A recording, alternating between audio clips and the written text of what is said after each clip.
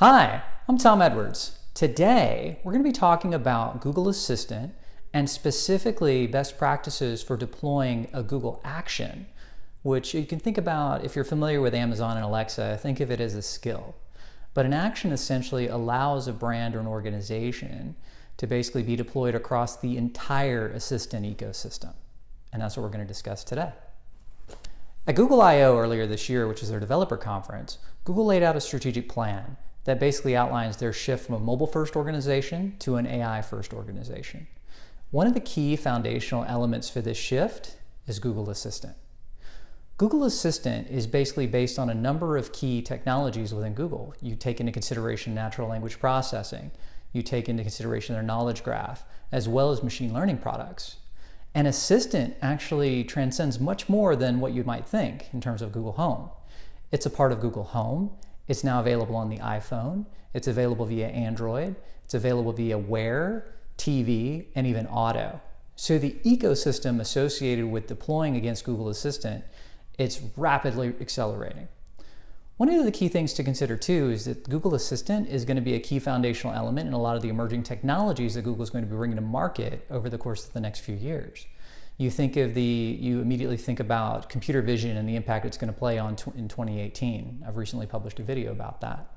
But you start thinking about the association of assistant with computer vision and working through the environment around you, and that's going to be a core foundational element. Bringing it back to Assistant for brands. One of the things that's important to consider here is that with, you can actually deploy against Assistant, similar to what you've done with Amazon and Amazon Alexa. I wanted to compare and contrast some of the differences between launching an Amazon Alexa skill versus a Google Home action. I've recently deployed both. About a month or so ago, I deployed a Blackfin 360 Alexa skill, so that's available. You can actually search for Blackfin 360 and enable via Amazon. And I've gone through the process now of final, getting final approval for my Google Action. So I wanted to talk a little bit about some of the, the, the comparisons between the two. You know, let's start with looking a little bit at the Alexa skills. Alexa skills have been one of the hot topics the, over the course of 2017. So starting with CES, Alexa, Alexa Voice Services was the talk of the show. Now there are over 15,000 skills that are available via the platform. You know, they've recently launched the Amazon Alexa Show, which I've done, recently done a video about, talking about the, the intersection of voice plus visual and how it's still important to develop for voice first versus the visual component. With Google Assistant, there are certain things to consider. First of all, you have about 200 million devices that are already Google Assistant enabled. Yes, 200 million.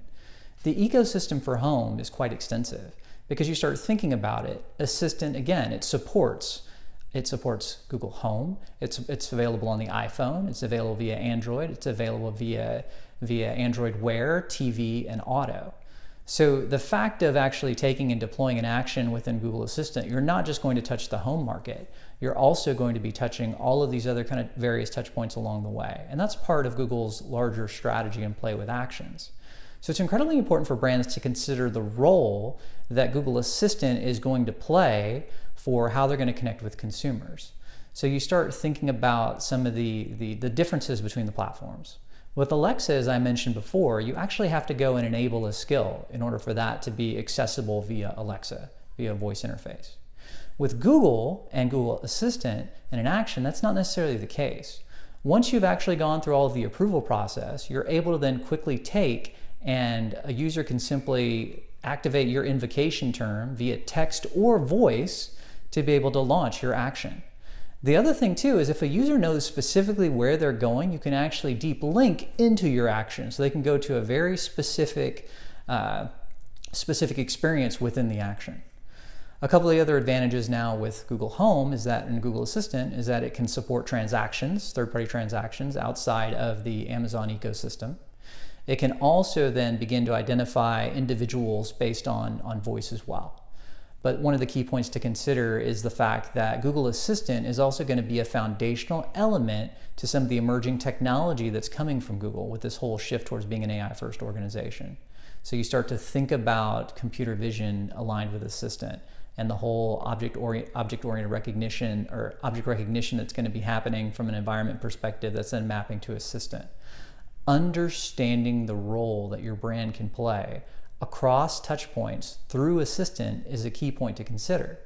Because the way the experiences actually manifest themselves, if an individual is looking to launch your action within, say, the Google Assistant app, it can almost serve as like a conversational chatbot experience to where it's it's right there, it's visual, they can see the conversational thread and interact. Whereas if the experience is with Google Home, it's going to be a voice-driven experience. So again, building the experiences with this in mind, understanding that you're going to have users that are interfacing from a voice perspective, as well as potentially visually, is another key point to consider. So when it comes to deploying skills and actions, when I was working with the Amazon team and getting the Blackfin 360 Alexa skill launched, it only took one, maybe two uh, uh, revisions to actually get the skill submitted, reviewed, and actually deployed. So I had to validate um, ownership of an entity. That was one of the key things that we had to, to do with the Amazon side. Google was a little more complex, and you can understand why. Because you're deploying across Assistant in all the various ecosystems, you have to make sure that Make sure that you have a privacy policy in place. So there are, there are lines of questioning that are tied to the use of data as well as just a number of how you're going to be interacting with, uh, with the user during that period of time through, pri through a privacy policy. One of the other core things to consider here too as well is I had to actually record my invocation term in both with a male voice and a female voice to make sure that there's an association when the skill actually launches. So that was something I wasn't expecting.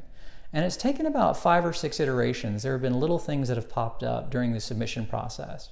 So as you're thinking about launching a Google Action, make sure you're building in enough time that you can have enough revisions versus trying to get something in market to coincide with a campaign or a promotion. It's just something to, to keep an eye on because I have noticed a bit of a difference between both deploying on against the Amazon ecosystem as well as the Google ecosystem. One of the final points to consider is really around discovery of the action. So I did notice that the, the full list of actions are available only on an Android device. So if you go into the actual home application, click on the hamburger menu, you can drop down and actually see all of the apps. They're not, you can't really filter it, you can't really search against it, but they are there.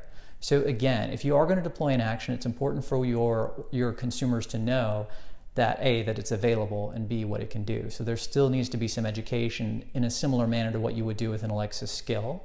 But in this case, you don't necessarily have to ask uh, the user to actually enable anything to, for it to, to launch within the Google Assistant ecosystem.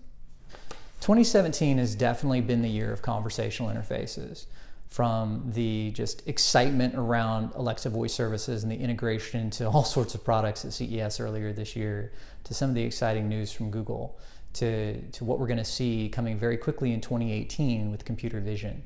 So it's incredibly important to think beyond just think beyond just the tactical skill aspect of it and really have to, you really have to think about the role that assistant's going to play in the everyday journey of a consumer and then the role that your brand is going to play across all these various touch points from voice to visual. It's a really key point to consider and I can't I can't reiterate enough how critical this is going to be as systems begin to take more burdens from individuals and you begin to see these virtual assistants becoming proxies and agents on our behalf. So making sure that your organization is there, that you're providing value across whatever the whether it's whether it's at home, whether it's on the go via auto, whether it's via Wear whether it's on the iPhone or wherever it may be, so incredibly important to begin thinking about your strategy and and the role of Google Assistant and Alexa are going to play. Well, that's it for today. I'm Tom Edwards. You can follow me at Blackfin360 on Twitter. I'm also available via blackfin360.com for the long form content as well as all of the videos uh, that I've touched on during the course of uh, this video. I'm also available via Alexa, so you can actually enable the Blackfin 360 skill directly from Amazon.com. And now finally available via Google Assistant and Google Home. So with Google Assistant, you can just ask Blackfin 360, and within Google Home, you can just say, hey Google, ask Blackfin 360. Have a great day.